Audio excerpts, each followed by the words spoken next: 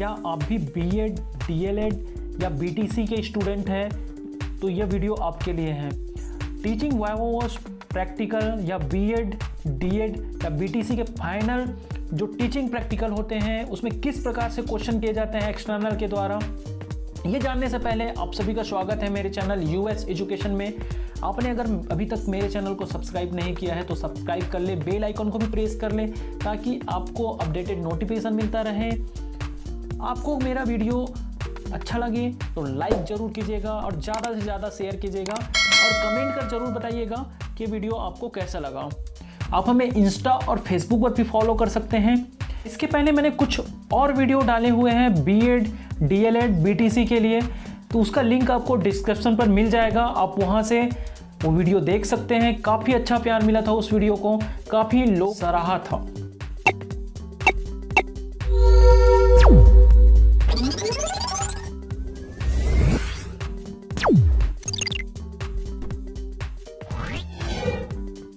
चलिए आज का वीडियो हम स्टार्ट करते हैं teaching vivas question answer with explanation सबसे पहला क्वेश्चन है, योजना का क्या अर्थ है?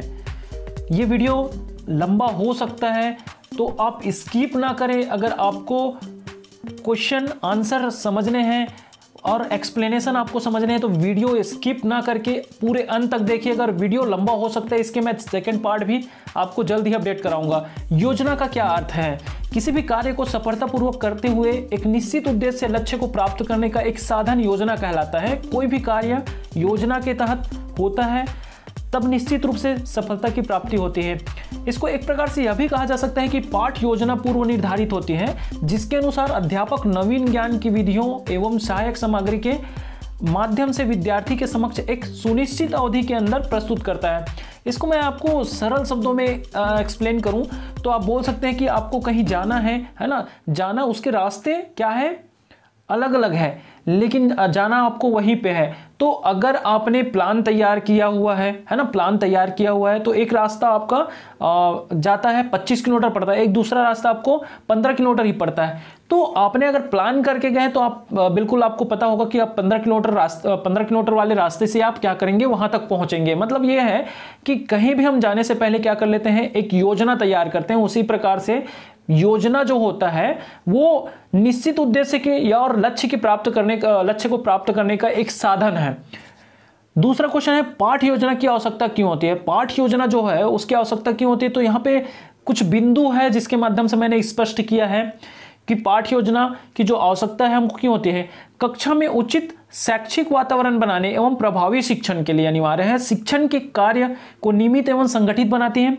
पाठ्य वस्तु का संगठन भली प्रकार से हो जाता है और प्रतिदिन के कार्य को स्पष्ट दिशा निर्देश देती है। अध्यापक का आत्म अध्यापक आत्मविश्वास के साथ कक्षा में अध्यापन का कार्य पूर्ण करता है और अध्यापक के लिए पथ प्रदर्शक एक मित्र का कार्य करते हैं। तो आपको यहाँ पे बहुत सारे जैसे पॉइंट मिले, जैसे मैंने यहाँ पे कहा कि शिक्षण के कार्य को नियमित एवं संगठित बनाती है और पाठ्य वस्तु का संगठन भली प्रकार से हो जाता है और प्रतिदिन के कार्य को स्पष्ट दिशा निर्देश मतलब हमने अगर एक पाठ योजना तैयार कर रहे हैं ना? पाठ योजना तैयार करते हैं और पाठ योजना अगर नहीं तैयार करते हैं तो उसको अगर हम दस दिन में पढ़ा रहे हैं और पाठ योजना के माध्यम से हो सकता है हमने क्या किया, उसको व्यवस्थित किया है तो उसको हम पाँच ही दिन में और काफ़ी अच्छे से हम क्या कर सकते हैं, इफ़ेक्टिव या प्रभावी तरीके से हम क्या कर सकते हैं करा सकते हैं। तो ये रहा हमारा पाठ योजना की आवश्यकता। देख लेते हैं कुछ जो पाठ योजना है, उसमें क्या क्या विशेषता होनी चाहिए। हमारा नेक्स्ट क्वेश्चन है। तो पाठ योजना लक्ष्य, शिक्षण विधिया, प्रविधिया, सहायक सामग्री आदि की आदि की दृष्टि से परिचित होना चाहिए। मतलब ये सभी सभी चीज़ें क्या होनी चाहिए, उसमें समाहित होना चाहिए। पाठ योजना की भाषा सरल एवं आकर्षक होना चाहिए। पाठ योजना संबंधी सामान्य एवं विशिष्ट उद्देश्य लिखे गए होने चाहिए। उचित एवं आवश्यकता के अनुरूप सहायक सामग्री के प्रयोग की व्यवस्था होना चाहिए। अच्छी पाठ योजना में कक्षा के सामान्य पाठ योजना का आधार छात्रों के पूर्व ज्ञान से आधारित होना चाहिए। पूर्व ज्ञान से आधारित क्यों होना चाहिए? क्योंकि हम क्या कर रहे हैं? पूर्व ज्ञान के आधार पर हम उस नए ज्ञान से उसको जोड़कर बता रहे हैं। मतलब कोई नया चैप्टर या नया हम टॉपिक के लिए हम क्या किए हैं? हमने एक पाठ योजना तैयार किया है। उसकी विशेषताएँ होनी चाहिए कि हम वो बच्चा उस पाठ को पहले से, उस पाठ के जो अंश है, वो पहले से पढ़ा हुआ होना चाहिए। नेक्स्ट क्वेश्चन देखते हैं। इसी में कुछ और है, जैसे पाठ योजना में श्यामपट कार्य आकर्षक ढंग से होना चाहिए और पाठ योजना अध्यापक के कार्य में सहायक होना चाहिए। योजना के कितने स्तर हैं? नेक्स्ट जो हमारा क्वेश्चन है, योजना के कितने स्तर हैं? मतलब जो प्लान है, उसके कितने लेवल है है ना? उसके बारे में यहाँ पे पूछा गया है तो शिक्षा के क्षेत्र में योजना के चार प्रकार हम मान सकते हैं। यहाँ पे पहला ईयरली दूसरा है मंथली तीसरा वीकली और जो फोर्थ है वो डेली अब योजना जो है, वार्षिक योजना कहने या ईयरली कहने का मतलब ये है कि हम पूरे यूनिट को हम वार्षिक योजना, है ना? पूरे यूनिट को कब कब कब तक हम खत्म कर देंगे, है ना? इस टाइप का बनाएँ। उसके बाद मासिक योजना कि एक मंथ में हम कितने यूनिट को हम कंप्लीट करें?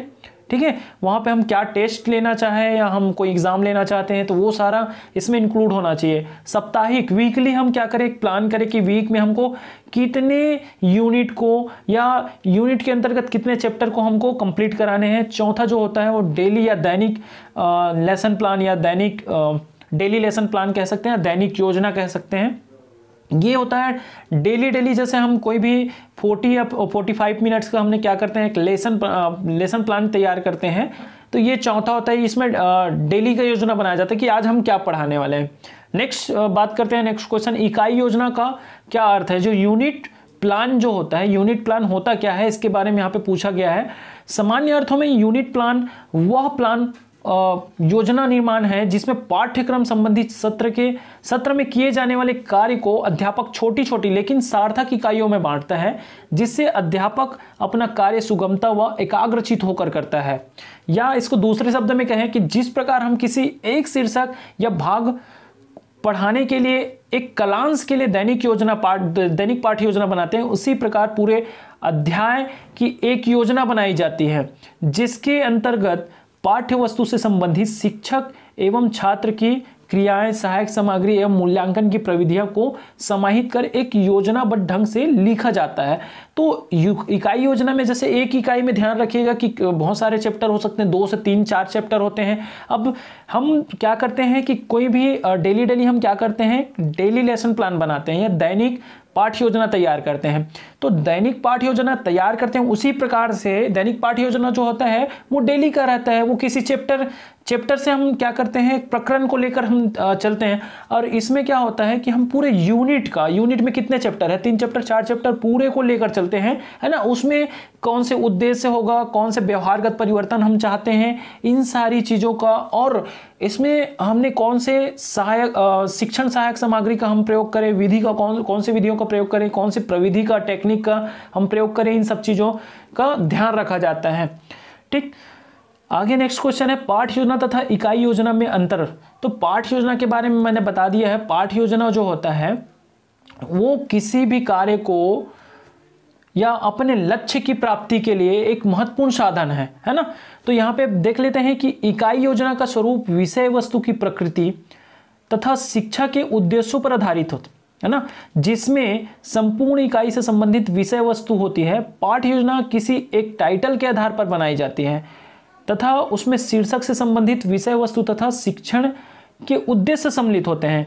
नेक्स्ट देखते हैं इसी में पाठ योजना अध्याय के किसी एक शीर्षक का खंड को पढ़ाने के लिए एक कलांश के लिए बनाए जाते हैं, जो कि दैनिक पाठ योजना कहलाती है। मैंने अभी बताया था आपको कि पाठ योजना हम डेली के लिए बनाते हैं एक शीर्षक शीर्षक का खंड को पढ़ाने के लिए, है ना?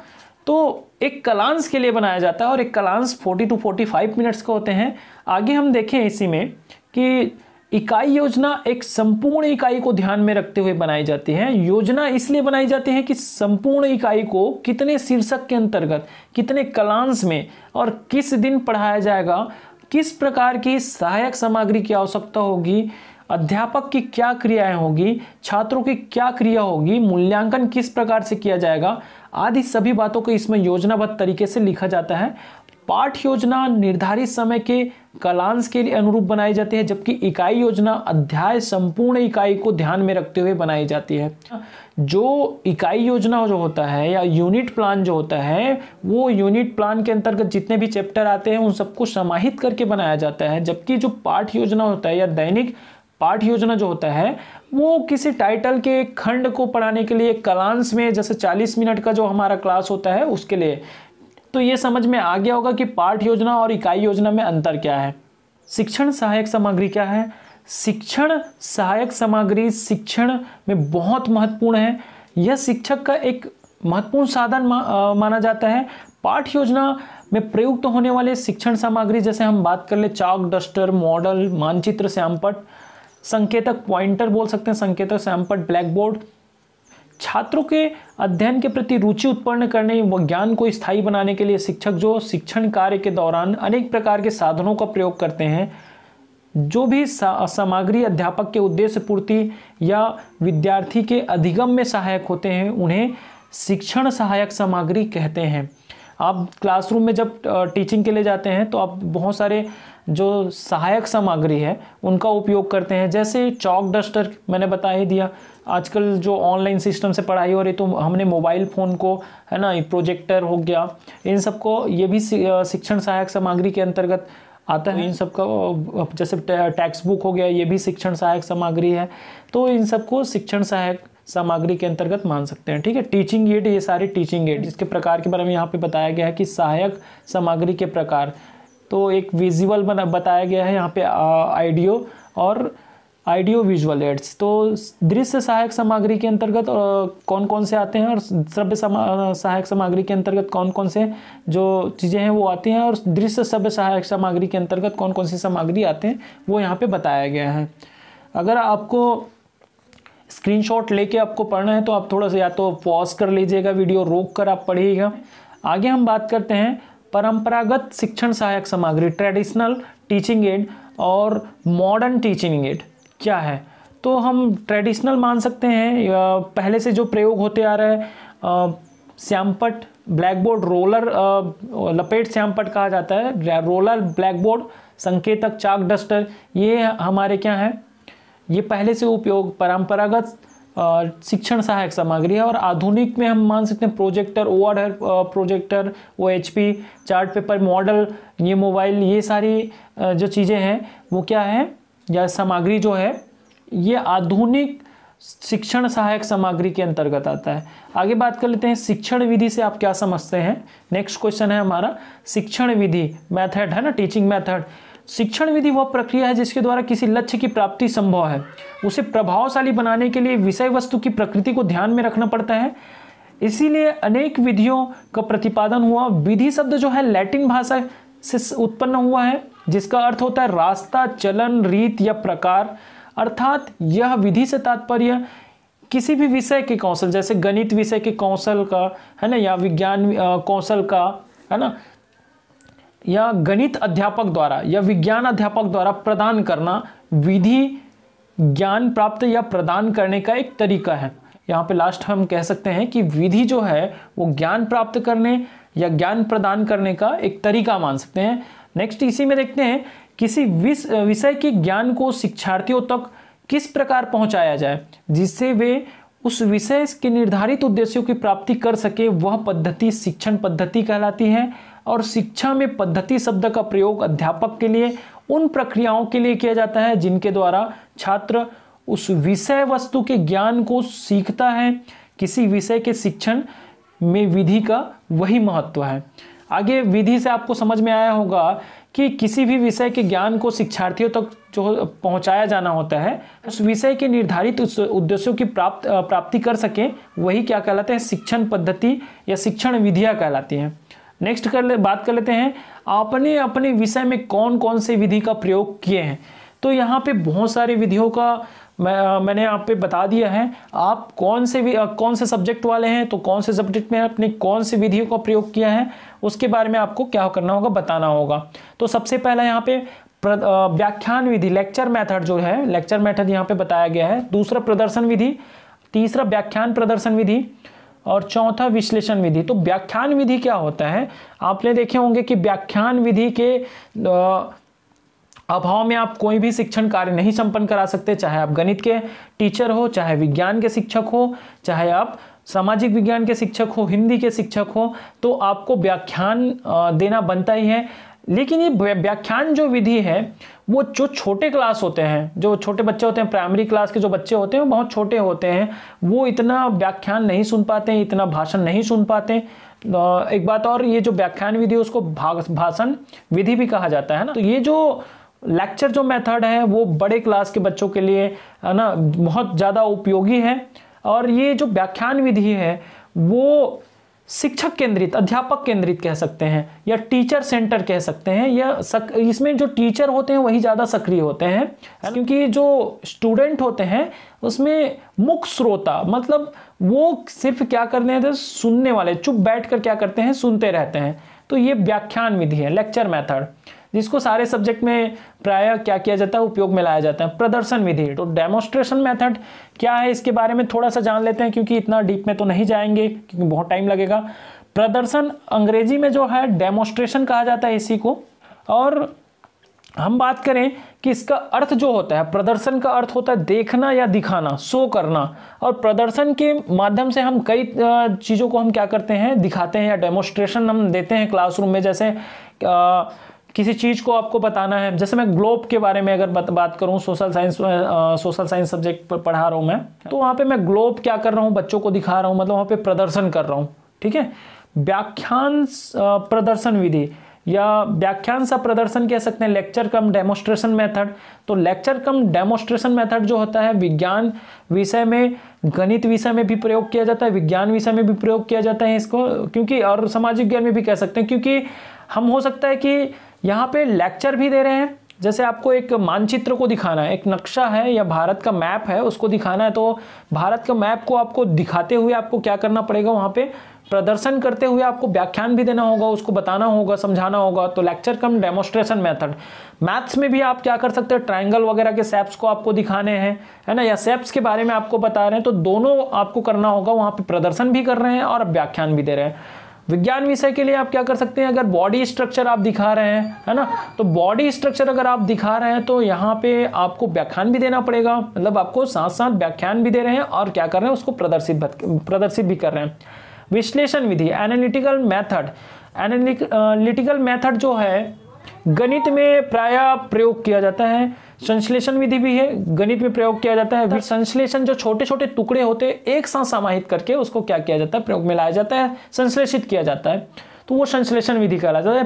प्राय जो यहाँ पे व्याख्यान जो हो गया व्याख्यान सब प्रदर्शन विधि संश्लेषण विश्लेषण विधि तो ये क्या है सिंथेटिक जो मेथड है ये मैथ्स में यूज़ होते हैं ज़्यादातर। आगमन विधि इंडक्टिव मेथड आगमन विधि वो होता है जिसमें आ, कह सकते हैं विशिष्ट से आ, विशिष्ट से सामान्य की ओर होता है। जो आगमन विधि है, विशिष्ट से सामान्य की ओर। मतलब आगमन इंडक्टिव जो मेथड है, उसमें एग्ज़ाम्पल पहले दिया जाता है। कोई भी आपको टॉपिक समझाने हैं या कोई भी जैसे प्रकरण को आप क्या कर रहे हैं, पढ़ा रहे हैं, किसी प्रकरण में आपको कोई कंटेंट है है ना? तो विषय वस्तु है, उसको आपको क्या करना है एक्सप्लेन करना है तो वहाँ पे आप क्या करते हैं उदाहरण का पहले आप प्रयोग करेंगे, उदाहरण पहले बताएँगे, उसके बाद उसके जो नियम सूत्र जो परिभाषा है, उस तरफ़ आगे बढ़ते हैं। तो ये क्या कर रहे हैं, हम विशिष्ट से सामान्य की ओर आगे बढ़ रहे हैं। तो ये इंडक्टिव मेथड होता है और निगमन डिडक्टिव मेथड डिडक्टिव मेथड ये होता है जहाँ पे हम सूत्र, सिद्धांत, नियम जो होते हैं, इन सब का प्रयोग परिभाषा हो गया, इन सब का प्रयोग करते, पहले प्रयोग करते हैं, उसके बाद हम क्या करते हैं, उदाहरण की ओर चलते हैं। तो ये निगमन विधि है। ठीक है? तो ये सामान्य से विशिष्ट की ओर बढ़ते हैं। ह्यूरिस्टिक मेथड ह्यूरिस्टिक या खोज विधि भी कहा जाता है इसी को। ह्यूरिस्टिक मेथड को खोज विधि, अन्वेषण विधि और ह्यूरिस्टिक जो मेथड है, उसका जो प्रतिपादन किया था आर्म स्ट्रांग ने किया था। और ये ह्यूरिस्टिक मेथड जो है, आपको साइंस के सब्जेक्ट में और आपके जो सोशल साइंस के सब्जेक्ट में बहुत ज़्यादा उपयोग होता है। प्रयोगशाला विधि लेबोरेटरी मेथड तो प्रयोग लेबोरेटरी मेथड ज़्यादातर विज्ञान विषय में प्रयोग किए जाते हैं। परियोजना विधि प्रोजेक्ट मेथड विज्ञान विषय में, सामाजिक ज्ञान विषय में, इसके लिए मैं और आगे बताऊँगा। असाइनमेंट मेथड उसके बाद समस्या समाधान विधि। समस्या समाधान विधि में क्या किया जाता है? जो बालक है, उसकी प्रॉब्लम को समझा जाता है और प्रॉब्लम को समझकर क्या किया जाता है? उसकी समस्याओं का समाधान किया जाता है। विचार विमर्श। विचार विमर्श जो है साइंस सोशल साइंस के सब्जेक्ट में भी विचार विमर्श जो या डिस्कशन मेथड से पढ़ाया जाता है।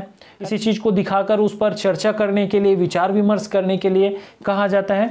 तो ये मैंने यहाँ पे तेरह, लगभग तेरह मैंने क्या विधियों बताए हैं तो इस विधियों को आप अच्छे से क्या कर लीजिएगा, तैयार कर लीजिएगा।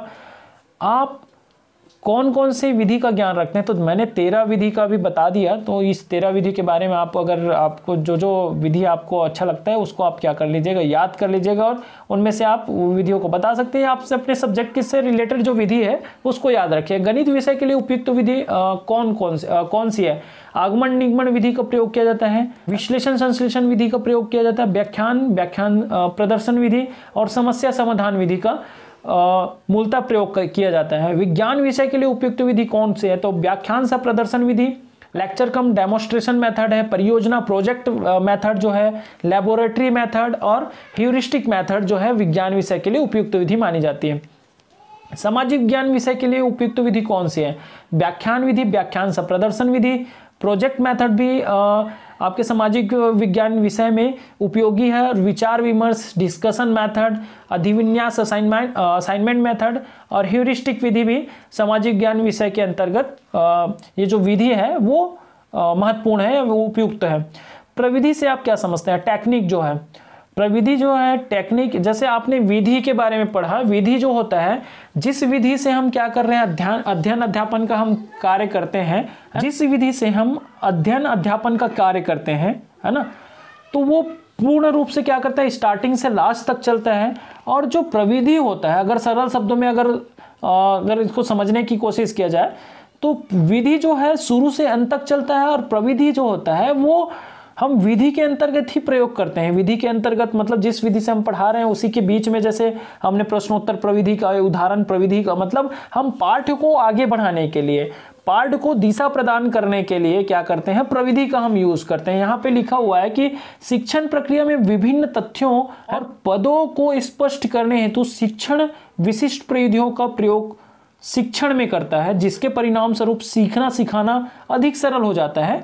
शिक्षण प्रविधि किसी शिक्षण विधि के विभिन्न पदों पर प्रयुक्त किए जाने वाले वे साधन हैं जिनकी सहायता से शिक्षक शिक्षण को प्रभावी बनाने का प्रयास करते हैं, ज़्यादा ही इफ़ेक्टिव बनाते हैं। विधि वही है टेक्निक है। जैसे हमने मेथड का यूज़ किया मेथड के अंतर्गत ही हम क्या करते हैं? जो टेक्निक है उसका यूज़ करते हैं। इससे जो हमारा पार्ट हो जाता है, अधिक प्रभावशाली बन जाता है और काफ़ी इजी वे में हम क्या कर सकते हैं टीच कर सकते हैं। आप कौन कौन से प्रविधि का ज्ञान रखते हैं? तो यहाँ पे कौन कौन से प्रविधि का उपयोग किया है? तो यहाँ पे बहुत सारे प्रविधि, जैसे उदाहरण प्रविधि, प्रश्नोत्तर प्रविधि, कथन प्रविधि, नाटकी प्रविधि, सेमिनार प्रविधि, सिंपोजियम प्रविधि, सम्मेलन प्रविधि, कार्य निर्धारण प्रविधि, सामूहिक वाद विवाद प्रविधि, अभ्यास प्रविधि, कार्यशाला, परीक्षण प्रविधि। इन सब के बारे में आप क्या कर सकते हैं, बता सकते हैं। उदाहरण प्रविधि कहने का मतलब है कि आप उदाहरण तकनीक या एग्ज़ाम्पल टेक्निक का आपने प्रयोग किया। जैसे आपने क्या किया, किसी आप एक्सप्लेनेशन कर रहे हैं कोई भी टॉपिक तो वहाँ पे क्या किया आपने एग्ज़ाम्पल टेक्निक का यूज़ किया। जैसे आपने उदाहरण दिया, उदाहरण देकर आपने क्या किया एक्सप्लेन किया तो वो उदाहरण तकनीक कहलाता है प्रश्नोत्तर प्रविधि। प्रश्नोत्तर प्रविधि मतलब आप क्या कर रहे हैं किसी टॉपिक को आप क्या कर रहे हैं, पढ़ा रहे हैं तो वहाँ पे आप क्या करते हैं, वहाँ पे क्वेश्चन करते हैं, है ना? क्वेश्चन करते हैं जिसके माध्यम से बच्चों से आप आंसर लेना चाहते हैं तो वो प्रश्नोत्तर प्रविधि हो गई इस प्रकार से आप सारे प्रविधि को आप क्या कर सकते हैं, याद कर लीजिएगा एक बार अच्छे से, पढ़ लीजिए। नेक्स्ट क्वेश्चन है टेक्सोनॉमी से आप क्या समझते हैं? मूलतः जियो को, जियो के जो वर्गीकरण को वर्गीकी या टैक्सोनॉमी या वर्गीकरण विज्ञान कहते हैं, इसका हिंदी अनुवाद हम बात करें तो वर्गीकी या इसको वर्गीकरण कहते हैं। और किंतु आजकल इसे व्यापक अर्थ में प्रयोग किया जाता है और जीव जंतुओं के वर्गीकरण सहित इसे ज्ञान के विविध क्षेत्रों में प्रयोग में लाया जाता है। जैसे कि मैंने बताया यहाँ पे कि व्यापक अर्थ में प्रयोग तो शिक्षण के क्षेत्र में भी इस टेक्सोनॉमी का प्रयोग किया जाता है। यहाँ पे बताया गया है कि वस्तुओं व सिद्धांतों का भी वर्गीकरण किया जाता है। वर्गीकी शब्द दो अर्थों में प्रयोग किया जाता है। वस्तुओं का वर्गीकरण के लिए और वर्गीकरण के आधारभूत तत्वों के लिए। तो आपने अपने विषय में नेक्स्ट क्वेश्चन आपने अपने विषय में कौन सा टेक्सोनॉमी का उपयोग किया है? अगर मैं साइंस का स्टूडेंट हूँ, है ना तो मैं ब्लूम टैक्सोनॉमी का यूज़ किया हूँ, है ना, और एक हर्बर्ट टैक्सोनॉमी या हर्बर्ट उपागम कहा जाता है। है ना? उसका भी आप क्या कर सकते हैं? प्रयोग कर सकते हैं। अगर आप आर्ट्स के स्टूडेंट हैं है ना? तो आप हर्बर्ट के पंचप्रदी उपागम का भी आप क्या कर सकते हैं? प्रयोग करके आप एक अच्छा लेसन प्लान आप तैयार कर सकते हैं। ब्लूम टैक्सोनॉमी में आ, क्या किया है? ब्लूम टैक्सोनॉमी से आप क्या समझते हैं? इसके बारे में बता देता हूँ कि Benjamin Bloom B S Bloom 1930 to 1999 एक मनोवैज्ञानिक थे। ब्लूम ने अपनी पुस्तक टेक्सोनॉमी ऑफ़ टीचिंग ऑब्जेक्टिव में ब्लूम का वर्गीकरण 1956 ब्लूम टेक्सोनॉमी काफ़ी प्रचलित है। वर्तमान की शिक्षा ब्लूम के वर्गीकरण पर ही संचालित है, जो तीन भागों में विभाजित है। ब्लूम बी एस ब्लूम ने क्या किया था? जो शिक्षण के उद्देश्यों को तो तीन भागों में बांटा था और हर्बर्ट जो है, हर्बर्ट जो है, हर्बर्ट के पंचप्रदी जो उपागम है उसके अकॉर्डिंग हम क्या करते हैं? पाठ योजना हम तैयार करते हैं। तो वहाँ पे सिर्फ़ ज्ञानात्मक पक्ष कॉग्नेटिव डोमेन जो है, उन्हीं को क्या किया गया किया है? उन्हीं को ज़्यादा यहाँ पे बी एस ब्लूम ने शिक्षण उद्देश्यों को तीन भागों में या तीन डोमेन दिए हैं। पहला, ज्ञानात्मक कॉग्नेटिव डोमेन दूसरा, भावात्मक पक्ष अफेक्टिव डोमेन और तीसरा, क्रियात्मक पक्ष साइकोमोटर डोमेन है ना? और इसी को हम क्या करते हैं? ज्ञानात्मक पक्ष, भावात्मक पक्ष, क्रियात्मक पक्ष और हर्बट जो है, हर्बट के जो पंचपदी उपागम है, उसमें सिर्फ़ ज्ञानात्मक पक्ष को ही महत्व दिया गया है। इन बाकी जो दो पक्ष है, भावात्मक पक्ष, क्रियात्मक पक्ष को महत्व नहीं दिया है। तो मैं बता दूँ आपको, ज्ञानात्मक पक्ष जो है, वो किससे संबंधित है? भावात्मक पक्ष किससे संबंधित है और क्रियात्मक पक्ष किससे संबंधित है? तो ज्ञानात्मक पक्ष का जो सीधा संबंध होता है, हमारे हेड से होता है, हमारे मस्तिष्क से होता है, भावात्मक पक्ष का जो सीधा संबंध होता है, वो हमारे हार्ट से होता है और क्रियात्मक पक्ष का जो सीधा संबंध होता है, वो हमारे हैंड से होता है। मतलब कहने का मतलब है कि ज्ञान जो प्राप्त किया जाता है वो मस्तिष्क के द्वारा किया जाता है भावात्मक पक्ष हार्ट जो है हम किसी के भाव को कैसे फील करते हैं? हम किसी को देखते हैं रो रहा है तो हम उसकी प्रॉब्लम को समझते हैं है ना? दया भाव आ जाती है। ये अफेक्टिव डोमेन के अंतर्गत क्रियात्मक पक्ष किसी भी कार्य को करना होगा तो हमारे हाथों की आवश्यकता वहाँ पे पड़ेगी तो ये हैंड और आपको बता दूँ कि जो नई तालीम की जो पाठ योजना है, इस एच थ्री के या एच थ्री क्या है? आपको ऐसा क्वेश्चन भी पूछा जा सकता है एच थ्री तो एच थ्री कहने का मतलब है कि H, एक H जो होता है वो हेड है, एक एच जो है हार्ट है और एक एच जो है वो हैंड है, ठीक है? ब्लूम टैक्सोनॉमी के कुछ लाभ बताए गए हैं। ब्लूम टैक्सोनॉमी विद्यार्थी के बौद्धिक विकास में योगदान देती है। इसके वर्गीकरणों के उपयोग से विद्यार्थी एक विषय को अपने तरीके से समझ सकता है और उसके समाधानों पर अपनी सोच तैयार कर सकता है। यहाँ अध्यापक एक सहायक की तरह होती है और जो विचारों को समझने में केवल सहायता करती है, इस तरह विद्यार्थी स्वतंत्र बन जाते हैं। तो ये है ब्लूम टैक्सोनॉमी, ठीक है? ब्लूम टैक्सोनॉमी कौन से विषय के पाठ योजना के लिए उपयोगी है? विज्ञान विषय के लिए ज़्यादा ही अधिक उपयोगी है। हर्बर्ट थ्योरी क्या है? हर्बर्ट के पंचप्रदी विधि पाठ योजना से आप क्या समझते हैं? जे एफ़ हर्बर्ट ने पाठ योजना के पाँच प्रमुख चरण बताए हैं। इसी कारण इसे हर्बर्ट की पंचप्रदी प्रणाली भी कहते हैं, जो इस प्रकार है। पहला, तैयारी, प्रस्तुतिकरण, तुलना तथा संबंध स्थापित करना, सामान्यकरण, अनुप्रयोग, पुनरावृत्ति। प्रिपरेशन जेफ हर्बर्ट ने कहा है कि सबसे पहले हम प्रिपरेशन करें, उसके बाद हम उसका क्या करें? प्रस्तुतिकरण करें, प्रेजेंटेशन करें तुलना तथा संबंध स्थापित करना। कंपैरिजन एंड एसोसिएशन समानीकरण उसके बाद हम क्या करें? जनरलाइजेशन करें और अनुप्रयोग, पुनरावृत्ति एप्लीकेशन रिपीटेशन तो ये पाँचों जो पॉइंट है, इन्होंने हर्बर्ट ने महत्वपूर्ण बताए हैं पाँचों पॉइंट को। यह, ये पाँच प्रमुख चरण बताए हैं, जिसके माध्यम से हम क्या करते हैं? अपना एक पाठ योजना तैयार करते हैं। हर्बर्ट के जो पंचपदी प्राणी पंचपदी प्रणाली या उपागम विधि के जो गुण दोष है, वो क्या है? तो हर्बर्ट का जो उपागम मनोवैज्ञानिक सिद्धांत पर आधारित है, पहले ये गुण हो गया, इसमें विद्यार्थी सक्रिय रहता है। हर्बर्ट की प्रणाली में अध्यापक को महत्वपूर्ण स्थान दिया जाता है और इसमें प्रत्येक पद का स्वरूप सुव्यवस्थित व सुनिश्चित होता है। मैं आपको बता दूँ कि इसमें विद्यार्थी सक्रिय तो होता है, लेकिन पूरी तरह सक्रिय नहीं होता। जब तक उनको कुछ करने के लिए या कुछ उनको दिखाने के लिए, जैसे स्टिमुलेशन जो होता है उद्दीपन परिवर्तन होता है, जब तक बच्चों में उद्दीपन परिवर्तन ना हो, तब तक वो बच्चा क्या नहीं करता अच्छे तरीके से नहीं सीखता। तो यहाँ पे विद्यार्थी सक्रिय लेते सक्रिय रहता है, लेकिन उससे ज़्यादा यहाँ पे क्या कहा, अध्यापक को महत्वपूर्ण स्थान दिया जाता है। इसके दोष के बारे में देख लेते हैं कि सभी विषयों के शिक्षण शिक्षण में उपयोगी नहीं है, जैसे विज्ञान विषय के लिए। इसमें विद्यार्थी की अपेक्षा अध्यापक अधिक सक्रिय होता है तो ये दोष हो गए उद्देश्य से आप क्या समझते हैं? कौन कौन से प्रकार बताए गए तो उद्देश्य पूर्ण निर्धारित साध्य है, जो किसी कार्य का क्या करते हैं? हमको मार्गदर्शन करते हैं।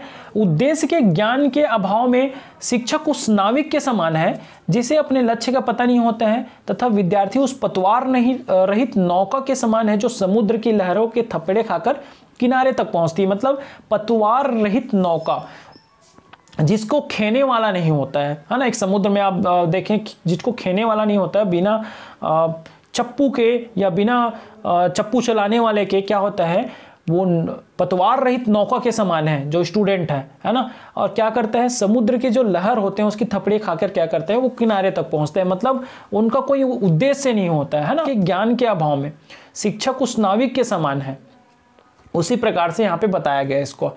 अब इसके प्रकार के बारे में देख सकते हैं। सामान्य जो उद्देश्य जो उद्देश्य है, उद्देश्य के जो दो प्रकार बताए गए, एक सामान्य उद्देश्य और विशिष्ट उद्देश्य। सामान्य उद्देश्य और विशिष्ट उद्देश्य, विधि, विशिष्ट उद्देश्य की भी तो दो प्रकार बताए गए हैं, है ना? अनुदेशात्मक और दूसरा जो है शैक्षिक, ठीक है? तो उसके बारे में भी बात करेंगे। पहला तो सामान्य उद्देश्य के बारे में बात करें कि सामान्य उद्देश्य को पूरी तरह प्राप्त नहीं किया जा सकता क्योंकि ये व्यापक होते हैं। इनकी प्राप्ति जो है वो विद्यालय, राष्ट्र, समाज को आधार बनाकर की जाती है और इनके अभाव में यह प्राप्त नहीं किया जा सकता। यह लक्ष्य विद्यार्थी के आदर्श होते हैं, जिनको ध्यान में रखकर ही विद्यार्थी अपनी सही मार्ग या दिशा तक पहुँचता है। और आपको बता दूँ कि जो उद्देश्य होता है, सामान्य दो उद्देश्य होता है। आपने देखे होंगे कि सामान्य उद्देश्य और विशिष्ट उद्देश्य। तो सामान्य उद्देश्य मैं गणित के लिए बात करूँ या विज्ञान के लिए बात करूँ तो मेरा सामान्य उद्देश्य जो हो जाएगा कि बच्चों को विज्ञान के बारे में जानकारी देना या बच्चों को विज्ञान के प्रति, बच्चों में विज्ञान के प्रति रुचि जागृत करना। मतलब ये सामान्य जो उद्देश्य होता है, उसमें व्यवहारगत परिवर्तन लाने के लिए क्या, किया जाता है? सामान्य उद्देश्य दिया जाता है, ठीक है? उसमें यह कहना चाहिए कि जो सामान्य उद्देश्य होता है, बच्चों में व्यवहारगत परिवर्तन लाने में क्या है? सहायक होता है। ठीक है? और विशिष्ट उद्देश्य के बारे में बात करें, विशिष्ट उद्देश्य जो होता है, वह माध्यम है जिनकी सहायता से उद्देश्यों को प्राप्त किया जा सकता है। कोई भी व्यक्ति अपने अंतिम उद्देश्य को प्राप्त करने के लिए उद्देश्य से संबंधित क्रियाओं को क्रमबद्ध तरीके से लगातार उसे पूरा करता है, तथा विशिष्ट उद्देश्य तक पहुँचते हैं। विशिष्ट उद्देश्यों का संबंध शिक्षण से होता है, जिसके आधार पर विद्यार्थियों की उपलब्धि जांची जाती है। अब मैं आपको एक बात और क्लियर कर दूँ कि जो विशिष्ट उद्देश्य होता है स्पेशल जो ऑब्जेक्टिव होता है वो विषय वस्तु से। विषय वस्तु से क्या होता है? विषय वस्तु पर आधारित होता है और जो हमारा आ, कहना चाहिए जो सामान्य उद्देश्य है वो हमारे बिहेवियर चेंजेस पर है ना? वो उस पर आधारित हो। चलिए नेक्स्ट क्वेश्चन देखते हैं। इससे पहले अगर आपने मेरे चैनल को अभी तक सब्सक्राइब नहीं किया है तो सब्सक्राइब कर लें। वीडियो अगर अच्छा लगे तो लाइक ज़रूर कीजिएगा। लाइक ही करना है आपको, कोई यहाँ पे पैसे खर्च नहीं करने हैं। एक कमेंट कर दीजिएगा अगर आपको वीडियो अच्छा लग रहा हो तो। और अधिक से अधिक लोगों तक शेयर करिए ताकि ये नॉलेज उन तक पहुँच पाए। हमारा नेक्स्ट क्वेश्चन है, प्रस्तावना प्रश्न क्यों किया जाता है? यहाँ पे बहुत सारे ऐसे क्वेश्चनों का समावेश किया गया है और वो भी आंसर के साथ और उसके एक्सप्लेनेशन के साथ में। तो प्रस्तावना प्रश्न इंट्रोडक्शन क्वेश्चन क्यों किया जाता है? बच्चों के पूर्व ज्ञान का पता लगाने के लिए, पूर्व ज्ञान को नए ज्ञान से संबंध स्थापित करना और सरल तरीकों से प्रकरण निकालने के लिए। प्रकरण जो होता है, क्या होता है? तो प्रकरण, जैसे हम जिस टॉपिक के बारे में या जो हम जिस जैसे हम एक कलांश के लिए क्या करते हैं एक लेसन प्लान बनाते हैं है ना? और किस टॉपिक से रिलेटेड है उसके लिए हम प्रकरण का प्रयोग करते हैं है ना? पाठ पाठ्य विषय में छात्रों की रुचि और जिज्ञासा जागृत करने के लिए तो ये प्रस्तावना प्रश्न इन सब आ, के लिए किया जाता है। पृष्ठ पोषण फीडबैक या प्रतिपुष्टि क्या है ना? या किसे कहा जाता है? तो जब कोई छात्र अध्यापक अपनी सूक्ष्म पाठ योजना प्रस्तुत करता है तो उसमें पाई जाने वाली कमियाँ, गलतियाँ पर्यवेक्षक द्वारा इंगित की जाती है तथा उसे सुधारने के उपाय बताए जाते हैं, इसे पृष्ठ पोषण कहते हैं। फीडबैक कहते हैं। फीडबैक आप जैसे देखे होंगे कि आप एक छात्र अध्यापक हैं तो आपने क्या क्या करेंगे? खुद का आपकी टीचिंग स्किल कैसा है, उसको जानने के लिए आप क्या करेंगे? आपने एक टॉपिक पढ़ाया, टॉपिक पढ़ाने गया, एक यूनिट आपने एक यूनिट पढ़ा लिया। यूनिट पढ़ाने के बाद आपने क्या किया? बच्चों से आपने जानना चाहा कि उनको कितना समझ में आया है। उन्होंने कितना समझ लिया है तो वहाँ से आपको पता चल जाएगा। इसीलिए कि या कह सकते हैं कि सेल्फ एवोल्यूशन के लिए भी हम क्या करते हैं? फीडबैक लेते हैं, या दूसरों के मूल्यांकन के लिए भी हम क्या करते हैं? फीडबैक लेते हैं। ठीक है? तो ये हो गया फीडबैक या पृष्ठ पोषण प्रतिपुष्टि। पाठ योजना क्यों बनाते हैं? अगर हम बिना पाठ योजना के किसी पाठ को, बच्चों को पढ़ाए पढ़ाए, है ना तो उस कक्षा का संचालन अच्छे से नहीं करा पाएँगे। क्या पढ़ाए, क्या छोड़े, हम यह नहीं तय कर तय कर पाते। अतः कक्षा का संचालन सुनियोजित तरीके से कम समय में सार्थक चीज़ों को बताने के लिए हम पाठ योजना तैयार करते हैं। तो पाठ योजना इसलिए बनाया जाता है। सूक्ष्म शिक्षण क्या है माइक्रो टीचिंग और एक सूक्ष्म शिक्षण चक्र, इसके बारे में पूछा जाता है। तो पहले तो देख लेते हैं सूक्ष्म शिक्षण माइक्रो टीचिंग क्या है? सूक्ष्म शिक्षण का विकास जो है एलन द्वारा 1963 में स्टोनफोर्ड विश्वविद्यालय में शिक्षण व्यवहारों, शैक्षणिक क्रियाओं के विकास के लिए किया। सूक्ष्म शिक्षण का जो उद्देश्य है, वो छात्र अध्यापक को सूक्ष्म शिक्षण द्वारा शिक्षण कौशलों का प्रशिक्षण देना। जो छात्र अध्यापक होते हैं है ना? बीएड के जो प्रशिक्षणार्थी होते हैं, खासकर सूक्ष्म शिक्षण उसी के लिए उपयोग में लाया जाता है है ना? और इसमें शिक्षण कौशलों का क्या करते हैं? उसको ट्रेनिंग देते हैं। सूक्ष्म शिक्षण एक प्रशिक्षण तकनीक है, जिसमें छात्र अध्यापकों को कम समय में थोड़े विद्यार्थी को किसी एक कौशल का प्रयोग कर शिक्षण प्रदान करना। आपको बता दूँ कि जो सूक्ष्म शिक्षण जो है, वो बहुत कम समय के लिए होता है। ज़्यादा से ज़्यादा इसमें कम समय, कम जो विद्यार्थी या कम प्रशिक्षणार्थी कक्षा के जो आकार हैं, वो पाँच से दस लोगों तक सीमित करना मतलब इसमें बहुत भीड़ बनाने वाली काम नहीं होती है। ज़्यादा से ज़्यादा पाँच से दस लोग तक। इससे ज़्यादा नहीं होते हैं। समय जो होती है समय सीमा जो है, वो पाँच से दस मिनट का होता है सूक्ष्म शिक्षण का। अब इसमें मैं आपको बता दूँ, सूक्ष्म शिक्षण चक्र पूछा जाता है तो सूक्ष्म शिक्षण चक्र में आपको क्या करना, स्किल को परिभाषित करना, स्किल को परिभाषित करना, या पहले क्या करना, एक प्लान तैयार करना। प्लान तैयार करने के बाद आपको क्या करना, टीचिंग करना। टीचिंग करने के बाद क्या करना, फीडबैक लेना। फिर फीडबैक लेने के बाद फिर रीटीचिंग करना। या सॉरी प्लान तैयार करना, फिर से रीप्लान फिर रीटीचिंग फिर रीफेड फीडबैक तो इस प्रकार से ये सूक्ष्म शिक्षण चक्र चलता है, ठीक है? आगे हम बात कर लेते हैं। पाठ योजना कितने मिनट का होना चाहिए? तो एक सामान्य पाठ योजना जो है 40 से 45 मिनट का होना चाहिए। इससे ज़्यादा नहीं, इससे ज़्यादा का नहीं होना चाहिए। सालानुभव का क्या उद्देश्य होता है? तो सालानुभव या स्कूल एक्सपीरियंस आर इंटर्नशिप छात्र अध्यापक पढ़ाने का अनुभव करे वह उस पर मनन चिंतन करने की क्षमता हासिल करे। इसलिए क्या किया जाता है? स्कूल एक्सपीरियंस या इंटर्नशिप का ये उद्देश्य होता है, डर या झिझक को दूर करना, बच्चों के हाव भाव व क्रियाकलापों का अध्ययन करना साले शिक्षण को समुदाय व आसपास के पर्यावरण से जोड़ना और अपने विषय के अध्यापन का अनुभव करना, कराना। स्कूल एक्सपीरियंस और इंटर्नशिप कितने दिनों का होता है? तो इंटर्नशिप जो होता है according to curriculum second semester 24 days four weeks and जो थर्ड सेमेस्टर है, वो 16 plus two week is equal to eighteen weeks का होता है। तो ये आप ध्यान रखिएगा कि आपको पूछा जा सकता है कि कितने दिनों का होता है। मूल्यांकन क्या होता है? एवल्यूएशन क्या होता है? इसके बारे में हम बात करें तो मूल्यों का अंकन करना ही मूल्यांकन कहलाता है और शिक्षा के क्षेत्र में इसका प्रयोग काफ़ी प्रचलन में है। मूल्यांकन के द्वारा यह पता चलता है कि बालक की वर्तमान स्थिति क्या है? और उसने किस सीमा तक किन किन उद्देश्यों को प्राप्त किया है? मूल्यांकन के जगह प्रकार की बात करें, जैसे मूल्यांकन के बारे में हम बात करें तो और आपको आएगा एक मापन और एक है आकलन, है ना? तो इसके बारे में भी आप पढ़ लीजिएगा। यहाँ पे मूल्यांकन के कुछ प्रकार बताए हैं, जैसे निर्माणात्मक, फॉर्मेटिव, निदानात्मक, डायग्नोस्टिक संकलनात्मक, समेटिव एंड सतत एवं व्यापक मूल्यांकन continuous and comprehensive evaluation CCE क्या होता है? सीसीई के अगर फुल फॉर्म के बारे में बात करें तो कंटिन्यूस एंड कंप्रिहेंसिव एवोल्यूशन सतत एवं व्यापक मूल्यांकन। सतत के यहाँ पे अर्थ है, हमेशा चलते रहना एवं व्यापक का अर्थ जो है विस्तारित रूप से, अर्थात व्यापक रूप से हमेशा चलने वाली मूल्यांकन ही सतत एवं व्यापक मूल्यांकन कहलाते हैं। स्व मूल्यांकन से आप क्या समझते हैं? तो स्वयं स्व मूल्यांकन जो है स्वयं द्वारा, स्वयं का मूल्यांकन। या स्वयं स्वमूल्यांकन एक ऐसी विधि है जिनमें वह प्रक्रिया होती है जिसके द्वारा कोई व्यक्ति स्वयं का मूल्यांकन करता है। छात्राध्यापक का मूल्यांकन कितने प्रकार से किया जा सकता है? तो स्व मूल्यांकन पहला एक, है ना, दूसरा, दूसरे अध्यापक, छात्राध्यापक द्वारा, एक परीक्षक द्वारा। आगे, बाकी बात करते हैं आगे।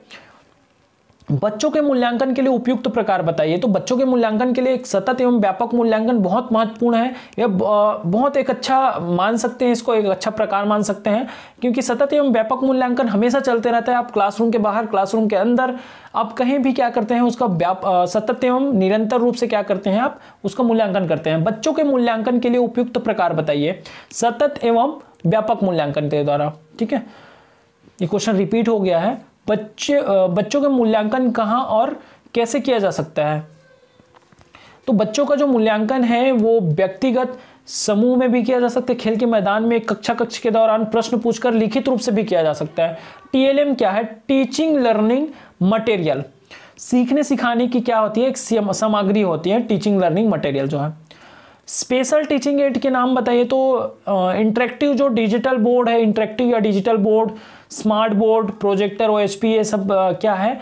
स्पेशल टीचिंग एड के अंतर्गत स्मार्ट क्लास से आप क्या समझते हैं? स्मार्ट क्लास और डिजिटल क्लास को आसान भाषा में समझे तो हमारे सीखने की जो पद्धति है और हमारे अध्ययन कक्ष को मज़ेदार आसान बनाता है। स्मार्ट क्लास के द्वारा बच्चे बहुत ही आसानी से चित्र और वीडियो के द्वारा बहुत कुछ नया सीख सकते हैं। जैसे स्मार्ट क्लास जैसे आपके जो क्लास है, आपकी क्लास को स्मार्ट क्लास बनाने के लिए कहा जाए तो सबसे पहले आपको वहाँ पे सिस्टम की ज़रूरत होगी, है ना? प्रोजेक्टर वगैरह की आवश्यकता होगी कंप्यूटर लगाना होगा प्रोजेक्टर लगाना होगा, या इंटरेक्टिव बोर्ड आप क्या कर सकते हैं, वहाँ पे लगा सकते हैं, जिसमें आप बच्चों को क्या कर सकते हैं आइडियो वीडियो आप क्या कर सकें दिखा सकें, जिससे बच्चे क्या करते हैं, ज़्यादा अच्छे से, ज़्यादा प्रभावी ढंग से क्या कर सकते हैं, क्या करते हैं, सीखते हैं तो वो स्मार्ट क्लास कहलाता है। तो इस प्रकार से आप अपने क्लासरूम को स्मार्ट क्लास के रूप में क्या कर सकते हैं, परिवर्तित कर सकते हैं।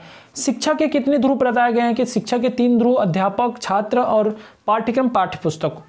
बाल केंद्रित शिक्षा से आप क्या समझते हैं? बच्चों की रुचि, प्रवृत्ति, क्षमता तथा स्तर को ध्यान में रखकर शिक्षा प्रदान करना ही क्या कहलाता है? बाल केंद्रित शिक्षा कहलाता है। इसमें बालक की जो व्यक्तिगत निरीक्षण कर उनकी जो कठिनाइयाँ होती हैं, उनको दूर करने का प्रयास किया जाता है। अर्थात हम यह भी कह सकते हैं कि बालक के मनोभाव या मनोविज्ञान को समझ समझते हुए शिक्षण की एक उत्तम व्यवस्था करना ही बालक केंद्र बालक केंद्रित शिक्षा अध्यापक केंद्रित शिक्षा से आप क्या समझते हैं?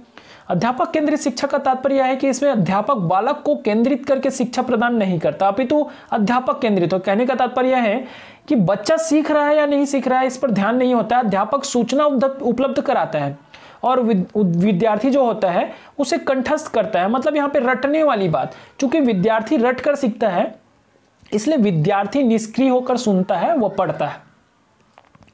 पाठ्यपुस्तक केंद्रीय शिक्षा से आप क्या समझते हैं? तो पाठ्यपुस्तक केंद्रीय शिक्षा का तात्पर्य है कि अध्यापक जो है जो है, बच्चों को सैद्धांतिक ज्ञान प्रदान करते हैं। व्यवहारिक एक अच्छे शिक्षक के गुण बताइए।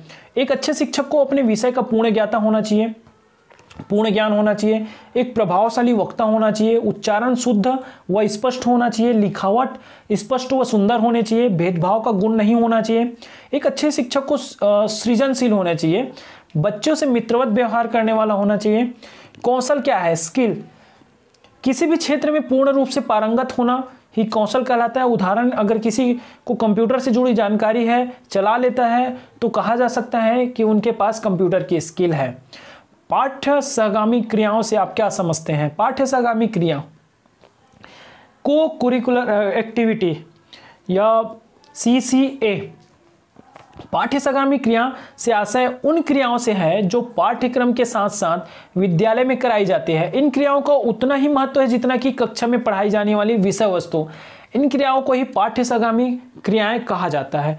तो आप इसको ध्यान में रखिए कि पाठ्य सगामी क्रिया कौन कौन जैसे पेंटिंग कराना खेल कूद शिल्प, कला, क्विज, सामान्य ज्ञान प्रतियोगिता, ओरिगामी, गायन, वादन, सामूहिक प्रार्थना ओरेगामी क्या होता है? तो ओरेगामी जो होता है कागज़ को मोड़ने की एक कला है ओरेगामी जो है उसके बारे में आप बता सकते हैं। टेन ग्राम में टेन ग्राम जो होता है ना सात पिक्चर होते हैं टेन ग्राम में और सात पिक्चर को काट कर हमें एक सार्थक चीज़ क्वेश्चन है प्रश्नों के प्रकार को लिखे। तो प्रश्नों के प्रकार में प्रश्नावना प्रश्न पहला दूसरा विकासात्मक प्रश्न तीसरा समस्यात्मक प्रश्न चौथा बोध प्रश्न तुलनात्मक प्रश्न पुनरावृत्ति और विचारात्मक। तो यहाँ पे पहला जो है प्रस्तावना इंट्रोडक्शन क्वेश्चन जो है इंट्रोडक्शन क्वेश्चन क्यों पूछा जाता है? तो इंट्रोडक्शन जो क्वेश्चन है वो बच्चों को पू, जो पूर्व ज्ञान को नए ज्ञान से जोड़ने के लिए दू, पहला दूसरा जो है मैंने आपको पहले ही बता दिया था कि बच्चों को जो बच्चों के जो पूर्व ज्ञान है वो नए ज्ञान से जोड़कर संबंधित प्रस्तावना प्रश्न किया जाता है। और बच्चे जो है पूर्व ज्ञान रखते हैं कि नहीं रखते हैं उस टॉपिक से रिलेटेड या जिस, जिसका हम क्या कर रहे हैं, या जिस प्रकरण के बारे में हम अध्ययन, अध्यापन का कार्य कराने वाले हैं, उसका वो पूर्व ज्ञान रखते हैं कि नहीं रखते हैं? उनका नॉलेज चेक करने के लिए प्रस्तावना प्रश्न किया जाता है। और प्रस्तावना प्रश्न जो है, हमें प्रकरण तक पहुँचने में क्या करता है? मदद करता है। विकासात्मक प्रश्न विकासात्मक प्रश्न के लिए मैं आपको एक उदाहरण देता हूँ। कभी कहीं आपने क्या कर रहे हैं, कहीं आप एक धारावाहिक देख रहे हैं, कोई भी एक सीरियल आपने देख रहे हैं या एक मूवी देख रहे हैं तो कहीं इंटरवल हो जाता है या कहीं आपको एडवर्टीजमेंट्स वगैरह आ जाते हैं तो वहाँ पे आपको पूछा जाता है कि अब आगे क्या होगा। या हमको एक जानने की एक दृढ़ इच्छा होती है, विकासात्मक प्रश्न इसी इसीलिए किया जाता कि आगे क्या होगा, है ना? या पाठ को गति प्रदान करना है, पाठ को आगे बढ़ाने के लिए विकासात्मक प्रश्न या डेवलपमेंट क्वेश्चन किया जाता है। एक यहाँ पे छूट गया है ब्रेन स्ट्रॉमिंग क्वेश्चन जो है। ब्रेन स्ट्रॉमिंग क्वेश्चन जो है मस्तिष्क उद्वेलन। यहाँ पे मस्तिष्क उद्वेलन कहने का मतलब है कि बच्चों को सोचने, समझने के लिए या मनन, चिंतन करने के लिए यहाँ पे विवश कर कर दे, समस्यात्मक प्रश्न। समस्यात्मक प्रश्न में क्या होता है कि समस्यात्मक प्रश्न इसलिए किया जाता है कि बच्चे को उस समस्या का समाधान क्या, बच्चे क्या करें? खुद निकाले। ठीक? बोध प्रश्न अंडरस्टैंडिंग क्वेश्चन तो इसमें किसी पैराग्राफ को पढ़ाने के लिए हम क्या करते हैं? बच्चे ने कितना समझा है? या बच्चे ध्यान आपके पढ़ाने को ध्यान दे रहे हैं कि नहीं दे रहा है? कहीं बच्चे जो होते हैं पीछे बैठ के शरारत करते रहते हैं तो इसीलिए क्या करते हैं, उसका नॉलेज चेक करने के लिए वहाँ पे बहुत प्रश्न करते हैं। तुलनात्मक प्रश्न तुलनात्मक प्रश्न कंपैरिजन करने के लिए कि दो चीज़ें वहाँ पे बताया गया, है ना, और दोनों चीज़ों में कंपैरिजन के लिए, तुलना करने के लिए तुलनात्मक प्रश्न या कंपैरिजन जो क्वेश्चन है, वो किया जाता है। पुनरावृत्ति प्रश्न पुनरावृत्ति प्रश्न जो होता है, वो पूरे पाठ को पढ़ाने के बाद किया जाता है पुनरावृत्ति। मतलब पूरे हमने चैप्टर को पढ़ा लिया है ना? या हमने क्या कर लिया? आज का जो आ, हमारा प्रकरण था आज के प्रकरण तो उस पर हम क्या करते हैं? पुनरावृत्ति कर पुनरा उसका हम पुनरावृत्ति प्रश्न हम तैयार करके क्या करते हैं? बच्चों को देते हैं। विचारात्मक प्रश्न विचारात्मक प्रश्न जो होता है वो बच्चों को विचार करने वाला होता है वहाँ पे थोड़ा समझता है विचार करता है मनन चिंतन करता है तो विचारात्मक प्रश्न उसी के लिए किया जाता है। यहाँ पर भी हम कह सकते हैं कि बच्चों को कि कोई भी चीज़ें हमने टास्क टास्क दे दिए या कोई प्रोजेक्ट हमने दे दिए तो वहाँ पे क्या करता है बच्चा आ, सोचता है समझता है आ, समझता है विचार करता है तो ये विचारात्मक प्रश्न है। शिक्षण सूत्र टीचिंग मैक्सिम से आप क्या समझते हैं? टीचिंग मैक्सिम जो होता है, शिक्षण सूत्र का जो प्रयोग होता है, शिक्षण अधिगम प्रक्रिया में बहुत अधिक प्रभावशाली बनाने के लिए किया जाता है। जैसे यहाँ पे कुछ प्रमुख जो शिक्षण सूत्र है, उसका, उसके बारे में बताया गया है, जैसे ज्ञात से अज्ञात फ्रॉम नॉन टू अननोन ज्ञात से अज्ञात मतलब ये है कि बच्चे जिस चीज़ों के बारे में जानता है, उसी से हम अज्ञात चीज़ों की ओर आगे बढ़ते हैं। सरल से कठिन फ्रॉम सिंपल टू ईजी या सिंपल टू कॉम्प्लेक्स ठीक है तो सरल से कठिन कहने का मतलब ये है कि आप बच्चों को कैसे पढ़ाएँ? ये तो जो बच्चा नोन है, उसको अननोन की ओर आगे बढ़े। ये सिंपल से हम क्या करें? कॉम्प्लेक्स थोड़ा कठिन की ओर हम क्या बढ़े, है ना? पहले सरल चीज़ों को बताएँ, कठिन को उसके बाद हम बताएँ। प्रत्यक्ष से परोक्ष मतलब प्रत्यक्ष से अप्रत्यक्ष की ओर डायरेक्ट टू अनडायरेक्ट है ना? सरल से जटिल की ओर। हम बच्चे को क्या करें? सरल सरल चीज़ों को पहले कराएँ। मतलब ऐसा नहीं है कि हम फ़र्स्ट मल्टीप्लिकेशन का जो सवाल है, वो हम बताना चालू कर दें। ऐसा नहीं। स्थूल से सूक्ष्म की ओर फ्रॉम कॉन्क्रीट टू अब्स्ट्रैक्ट मतलब सूक्ष्म स्थूल से सूक्ष्म जो बड़ी चीज़ें हैं, उसका अध्ययन पहले करवाएँ, उसके बाद हम उससे छोटी छोटी चीज़ों का हम अध्ययन कराएँ। जैसे साइंस के सब्जेक्ट में होता है। विशेष से सामान्य की ओर, विशेष से सामान्य जैसे हम पार्टिकुलर टू जर्नल हम किसी चीज़ को किसी विशिष्ट चीज़ों के बारे में पहले अध्ययन कराए, उसके बाद उसी को जनरलाइजेशन करें, सामान्यकरण करें। अनुभव से तर्क from learning to logical experience के अकॉर्डिंग हम एक तार्किक या लॉजिकल चीज़ों की ओर आगे बढ़ें, पूर्ण से अपूर्ण फ्रॉम वॉल टू पार्ट मतलब पूरे जो चीज़ है, उसको पहले जैसे हम मैथ्स के सब्जेक्ट में हम बात करें फ्रैक्शन के लिए, भिन्न के लिए तो वहाँ पे एक पूरे को पहले बताएँ, है ना? पूरे पूरे को पहले बताया, उसके बाद उसके पार्ट को बताया, इस प्रकार से पूर्ण से अपूर्ण की ओर, अनिश्चित से निश्चित तक की ओर एनालिसिस टू सिंथेसिस और सिंथेसिस टू एनालिसिस ये दोनों एक दूसरे को अपोजिट चलता है। तो पहले हम क्या करें? छोटी छोटी चीज़ों को क्या करें? किसी बड़ी वाली चीज़ को हम छोटे छोटे टुकड़ों में लेकर चले और उसके बाद संश्लेषण जो होता है छोटी छोटी टुकड़ों को हम एक साथ करके देखें तो ये विश्लेषण से संश्लेषण और संश्लेषण से विश्लेषण, सामान्य से विशिष्ट की ओर जनरल टू स्पेसिफिक पहले नॉर्मल नॉर्मल चीज़ों को बताया उसके बाद विशिष्ट की ओर बढ़े। जैसे हम सिंपल जो ऑब्जेक्टिव है और स्पेसिफिक जो ऑब्जेक्टिव है, उसमें करते हैं, है ना? मूर्त से अमूर्त फ्रॉम फैक्चुअल टू इमेजिनरी जैसे हम बात करें गोले की बात करें तो गोले से ही हम क्या करते हैं, उसको इमेजिन करने के बोलते हैं कि जो पृथ्वी का जो आकार है है ना? पृथ्वी का जो स्वरूप है, वो कैसा है? गोल है।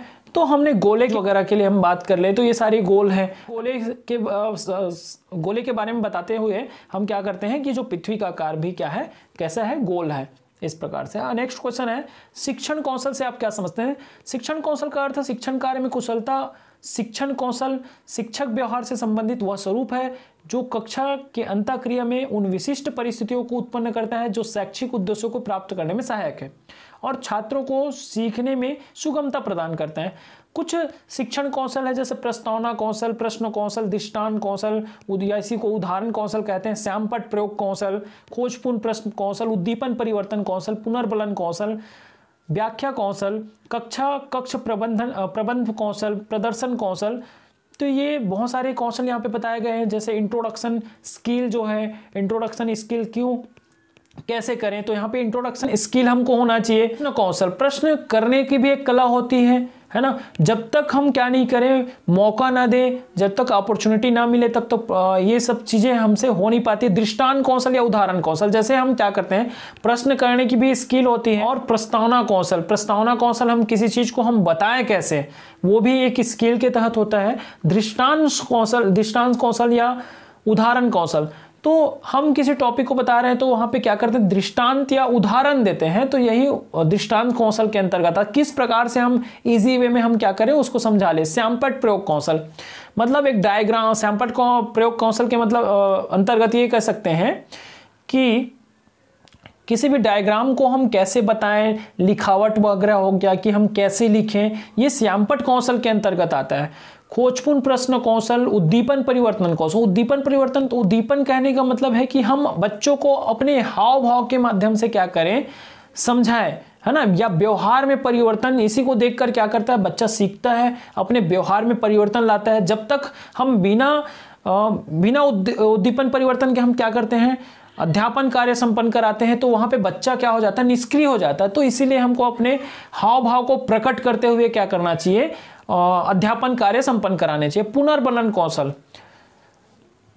पुनर्बलन कौशल जो होता है रेनफोर्समेंट जो है दो टाइप के हैं एक पॉजिटिव एक निगेटिव तो जब भी क्या करते हैं बच्चे जब हम क्या करते हैं क्वेश्चन करते हैं क्वेश्चन का आंसर बच्चे पॉजिटिव वे में देते हैं तो हम हमें उनका क्या करना चाहिए पुनर्बलन करना चाहिए। सावास वेरी गुड बहुत अच्छा।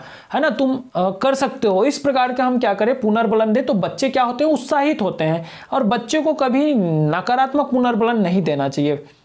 व्याख्या कौशल किसी पैराग्राफ या किसी टॉपिक को या कोई भी कंटेंट है विषय वस्तु है उसको हम कैसे व्याख्या करें उसकी कैसे हम व्याख्या करें इसका कौशल हमको क्या करना चाहिए अर्जित करना चाहिए। कक्षा कक्ष प्रबंध कौशल। कक्षा कक्ष प्रबंध कौशल कहने का मतलब आप बच्चों को कैसे व्यवस्थित तरीके से बैठाएँ है ना? तो ये कक्षा कक्ष प्रबंध कौशल के अंतर्गत आता है। प्रबंध प्रदर्शन कौशल। तो प्रदर्शन कौशल जो है डेमोस्ट्रेशन कौशल कि आप कहाँ पे आप आ, या कि, किसी भी आ, चीज़ों को आप कहाँ पे दिखाना है? है ना? आपने पहले बच्चों को दिखा दिए और जहाँ पे आपको दिखाना है, वहाँ पे आप बच्चों को नहीं दिखा रहे तो प्रदर्शन प्रदर्शन कौशल भी आप में होना चाहिए।